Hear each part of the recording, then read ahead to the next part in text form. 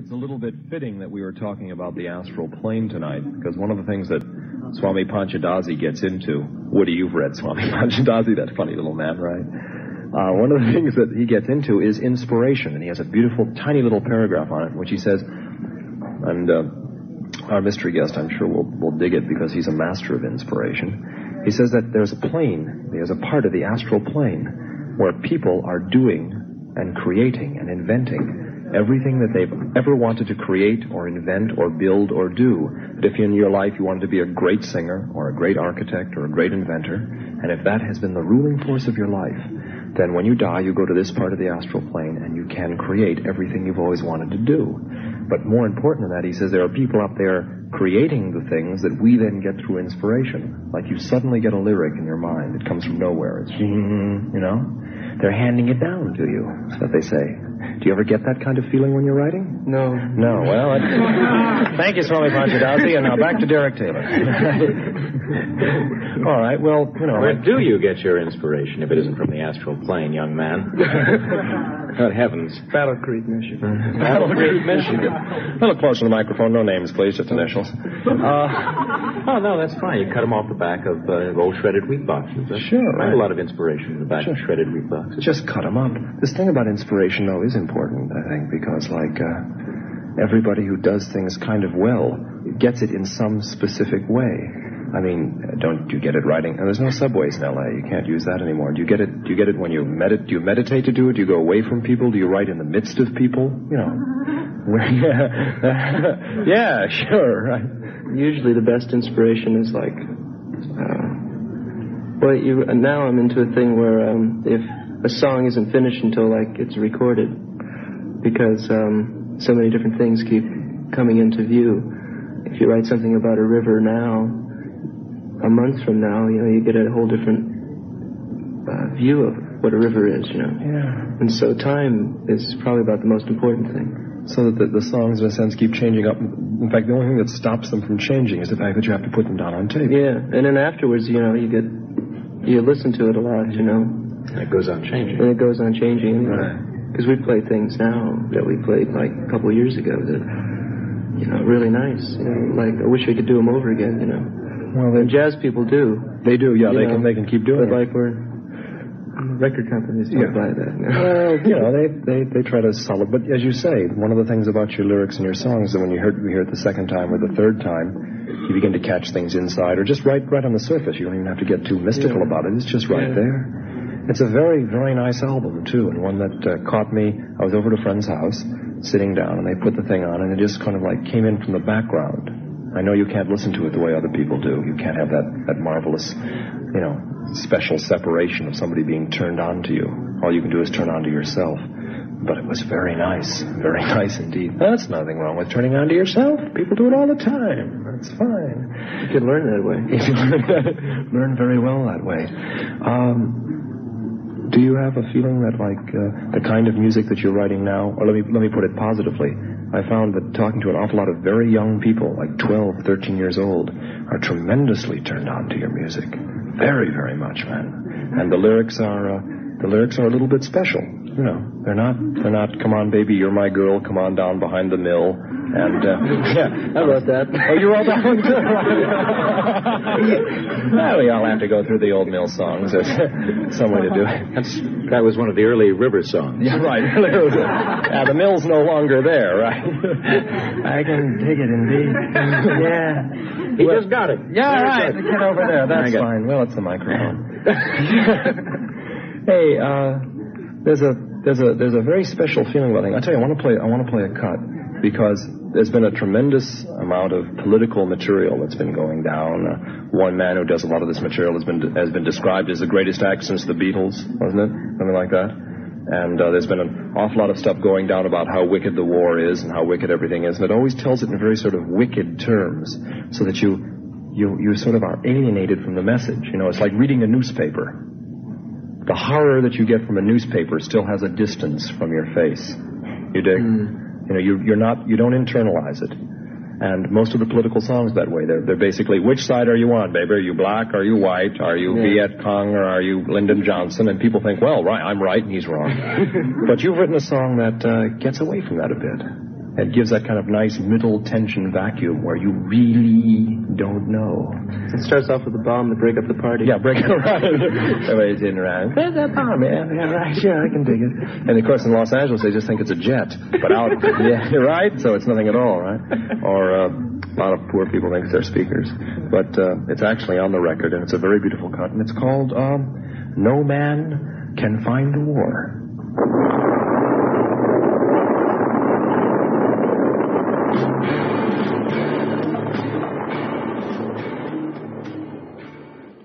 You see what I mean? Uh, particularly the people in the radio audience that listen to that inside their own home. There's a difference between sitting in a club, which is kind of an entertainment hall, and hearing that kind of music inside a place which you consider very much to be your own home, so it brings a lot more closely to you. But you get the feeling that when you come out of that, that it's not just a picket song and not just a which side are you on, right or left. It leaves you somewhat in the middle. Tell me something um, that I'm always interested in because people talk about what people are like today and everything like that.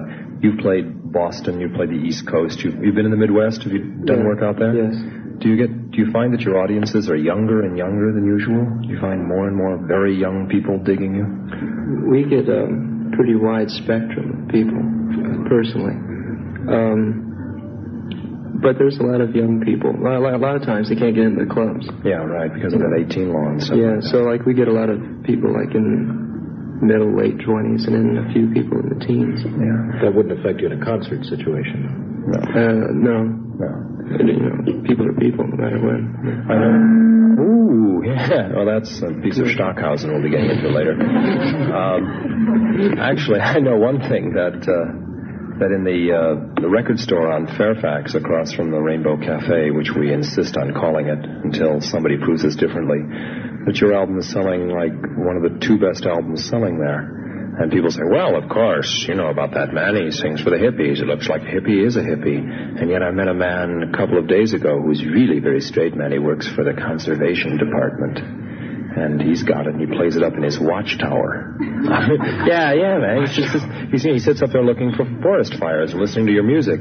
After a while, he doesn't see the forest fires. You know, let him burn, man. It's, um, it's only on cut one. That's the problem. You're gonna have to, yeah, if you make longer cuts, man, California's gonna go down. Um, thing, That's uh, an idea. that's a great idea. Slipping off to the sea to the sounds of you. Very nice indeed. Uh, you mentioned while we were while we were listening to uh, No Man Can Find the War that you're interested in writing uh, musical comedy for the legitimate stage. No, excuse me, not musical comedy, musical for the legitimate stage. Yeah, I'm Yeah. thinking about that. Um, I want to do a third album, Yeah. and then um, uh, split. yeah. Drop out. Yeah, and then because lately I've been really intrigued by how bad the stage is. yeah. It's intrigued. Yeah. I know what you mean. It's And- really amazing what they pull off. You know. Yeah, nothing, nothing of, of any real terrible worth is, is really much going on. There are a few, there are a few, few kind of interesting pieces. The Mark Taper Forum. Did you see the things down there? The scene and Musica. Yeah. There's some nice things in Yeah, there. those are good things. Those are good, but that's uh, that's kind of rare, you know. Yeah. Thank God for you know Phil Austin, and Phil Proctor, and that, by the way, ladies and gentlemen, was sideline hype. Uh, fact is, is that you must have some special kind of musical in mind. You say you told me off mic again that it'll never get to Broadway. You know why? I just hope for one night. For one night, right? You want to be a you want to be a five hundred thousand dollar musical. Right, right, yeah, sure. Mr. Merrick, uh, don't have to drop out. Then you'll have to drop out. Don't let that boy in my building. Don't let him on the block. writing that, writing that. Do you know what it's going to be about? Is it? Have you formed it at all in your mind? Um, musically, I have, and then um, choreography and all that stuff. Um, the plot is sort of. Um, I've got a general idea. Yeah. You know. Something like what? Well, at the end of the show, we blow up New York. Oh, the show you broke. Oh, that's nice. Sure. What, what did you say your name was? Uh, yeah, well, uh, call us later. That's why it's only going to play for one night. exactly. Unless, unless I went down to you know, Broadway to see his show, but it wasn't there. the show? No, Broadway. Right. Yeah. we have a cut of yours here called Phantasmagoria in two. Is the feeling of this piece at all like the kind of music you have in mind for this? Uh... No, it's completely different. I'll, I'll be into like um. Well, it'll be probably close to what will be on the, the next The album. next album. But um, well, you know, what what can happen in a year? I don't know. Right, the river keeps years. flowing there. You know that story that Siddhartha, when he was learning to become perfect or enlightened, spent a long time with the old boatman. And he wanted to learn his secret, which was peace. And the old boatman took him by the river and said, just watch it. Just keep watching. Everything's going to be groovy.